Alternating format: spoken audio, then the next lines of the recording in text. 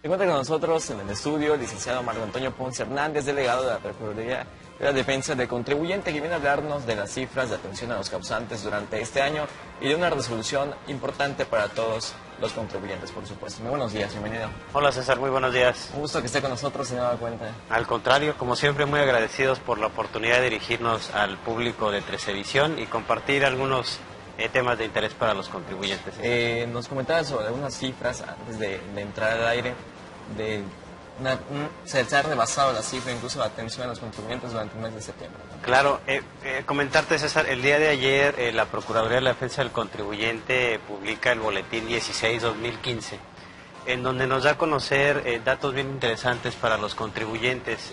comentarte que en los primeros nueve meses, es decir, al, cierre del mes de septiembre, la Procuraduría ya logró superar el número de servicios que prestó en el 2014. Es decir, todavía nos quedan tres meses más y todo esto va a ser de servicios extras en comparación contra el 2014. Nada más algunos datos o algunas referencias es, por ejemplo, en materia de quejas, en 2014, en todo 2014 se eh, eh, prestaron em, exactamente 8.000, eh, 82 mil perdón, procedimientos de queja.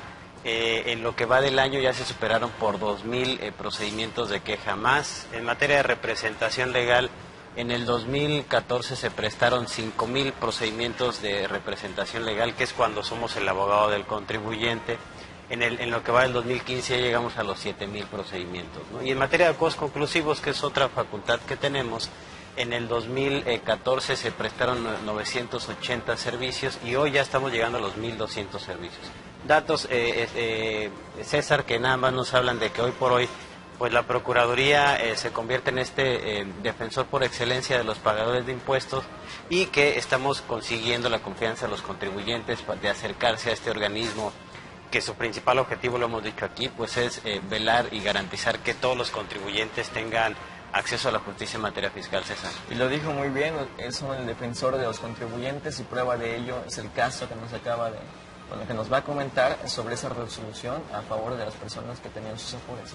Claro, fíjate que también parte del boletín que publica la Procuraduría da a conocer una sentencia que se obtuvo de la Sala Superior del Tribunal Fiscal Federal, en donde de, manera, de manera antecedente te comento, eh, tú cuando eh, estás eh, supeditado a una relación laboral, eh, tu patrón está obligado a enterar aportaciones de seguridad social. Parte de estas aportaciones de seguridad social se van al, seguro social, otras se van al ISTE em, y otra parte se va a un fondo de ahorro para el retiro.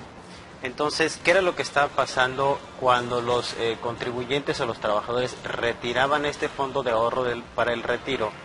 Derivado de la terminación de la relación laboral, había una regla o existe actualmente una regla que establece que estos ingresos que tú vas a retirar van a estar grabados como si fuera un ingreso esporádico y entonces te van a retener por concepto de impuestos sobre la renta un 20% de todo lo que retires.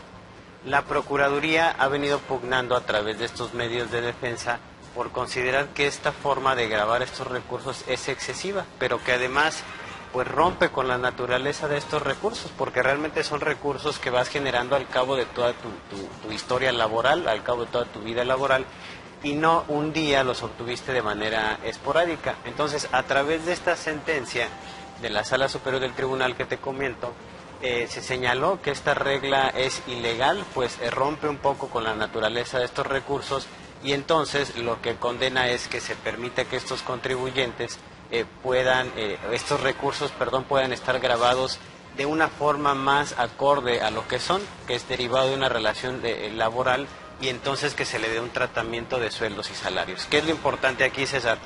La gente se sigue, sigue haciendo esos retiros del fondo de ahorro.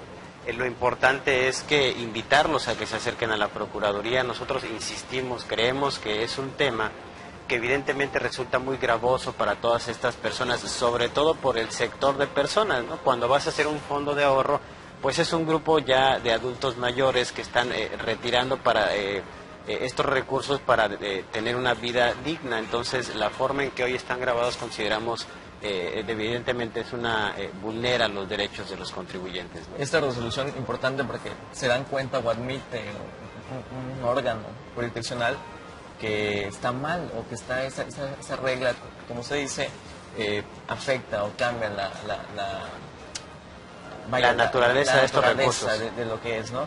Entonces, ¿qué seguiría? ¿Podrían ustedes hacer o, enviar alguna resolución o recomendación para que se cambie esta norma y el procedimiento después de esa resolución es definitiva o sigue un un procedimiento legal. Claro, mira, eh, evidentemente todavía el Servicio de Administración Tributaria eh, podría hacer efectivo alguna impugnación en contra de esta en contra de esta sentencia. Todavía no sabemos si lo vaya a hacer o no. Habrá que esperar y le tocará al Poder Judicial de la Federación resolver si esta sentencia fue eh, adecuada o no adecuada. ¿Qué es lo importante?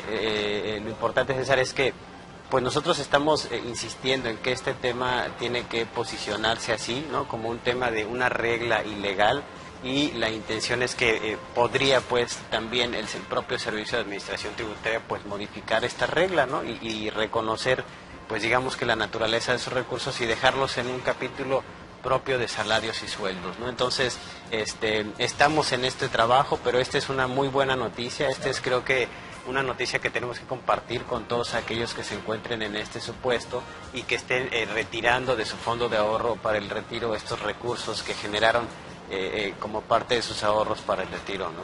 En el legado hay personas que nos están viendo y que están en el mismo caso, ¿dónde pueden acudir? ¿Dónde se pueden comunicar con ustedes? Eh, los datos de la delegación aquí en el estado de Yucatán es Avenida Paseo Montejo número 442. para, mucha, para mejor referencia, estamos entre el módulo de Relaciones Exteriores y la Escuela Modelo.